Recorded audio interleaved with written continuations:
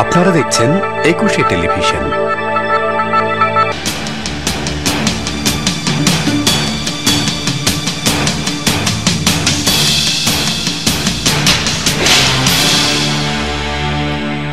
বার্তাকক্ষে সর্বশেষ সংবাদ শিরোনামে সবাইকে স্বাগত। সঙ্গে আছি রীতা চৌধুরী।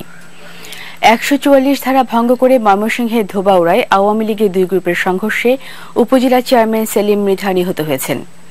রোববার রাতে ময়মনসিংহ মেডিকেল কলেজ হাসপাতালে চিকিৎসাধীন অবস্থায় মারা যান তিনি।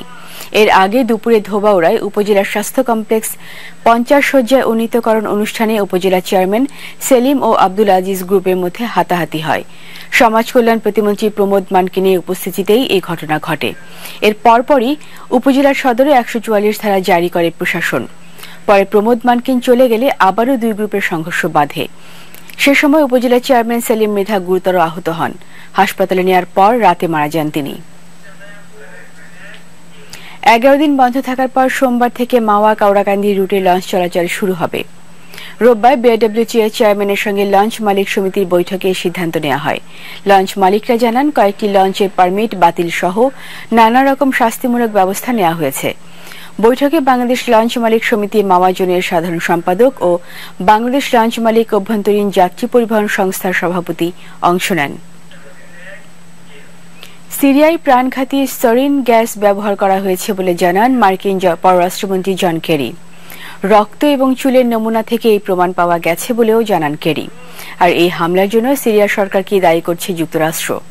এদিকে মার্কিন প্রেসিডেন্ট বারাক ওবামা সিরিয়ায় হামলা চালানোর ঘোষণা দিলেও অপেক্ষায় রয়েছেন কংগ্রেসের ভোটের। এদিকে কায়রোতে আরব লীগের পররাষ্ট্রমন্ত্রীদের বৈঠকে জাতিসংঘ এবং আন্তর্জাতিক অঙ্গনকে সিরিয়া সরকারের বিরুদ্ধে পদক্ষেপ নেওয়ার আহ্বান জানান জানানো হয়।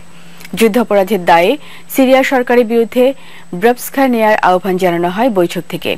এদিকে সৌদি আরবের পররাষ্ট্রমন্ত্রী সৌদ আল ফয়সাল জানান, সিরিয়ার যুক্তরাষ্ট্র যদি হামলা চালায়, তবে তাতে সমর্থন রয়েছে সৌদি আরবের।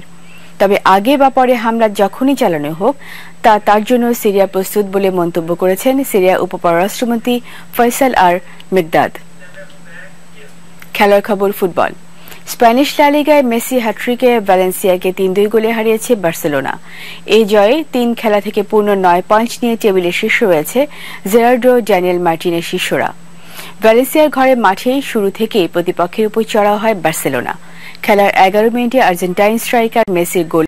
ইউএস ওপেন টেনিসে মহিলা এককে কোয়ার্টার ফাইনালে উঠেছে শীর্ষ বাছে সেরিনা উইলিয়ামস। এদিকে পুরুষ এককে লেজেন হিউইতে ডেনিস স্পেনের শেষ গোলতে জায়গা করে নিয়েছেন।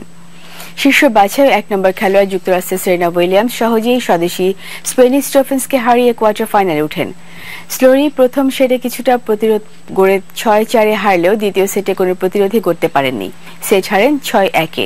এদিকে স্পেনের আঠারোতম বাছাই সুয়ারিজ নাভারো চার ছয় ছয় তিন, সাত ছয় গেমে অষ্টম বাছাই জার্মানি অ্যাঞ্জেলিক কেরবেরকে হারিয়ে কোয়ার্টার ফাইনালে ওঠেন।